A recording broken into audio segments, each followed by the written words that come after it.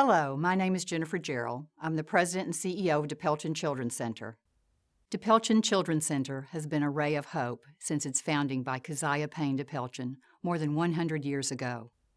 Unable to turn three orphan infants away, she took them in, and shortly thereafter, the DePelchin Faith Home was born. What began as a humble orphanage in 1892 is now one of the largest providers of children's mental health, foster care, and adoption services in Houston and in the state of Texas.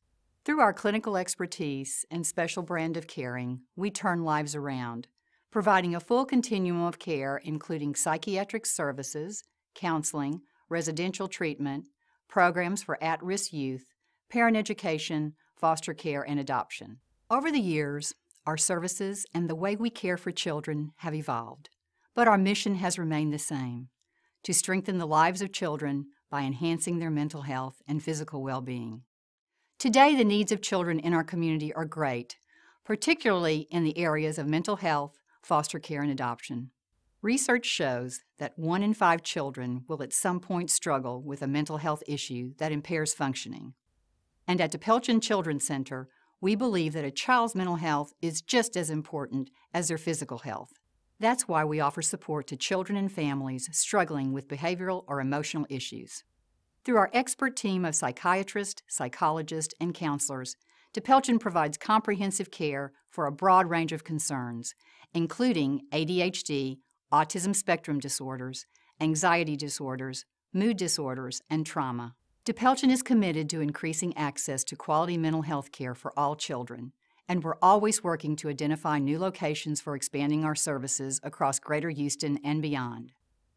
DePelchin Children's Center also believes every child deserves a safe home and a loving family. And through our foster care program, we partner with families and individuals who can provide temporary care for children who are removed from their biological families because of abuse, neglect, or abandonment. Many of these children have experienced trauma and desperately need the care and support of a loving foster family. Most people don't know that there are more than 28,000 children in foster care in Texas, and of these children, more than 9,000 are waiting to be adopted. Many of the waiting children are older teens who will age out of the system on their 18th birthdays without a home or a family to support them. Through our adoption program, we support families and individuals wanting to adopt children who are in the care of Child Protective Services and need a permanent, loving home. DePelchin also supports families and individuals through our private infant adoption program.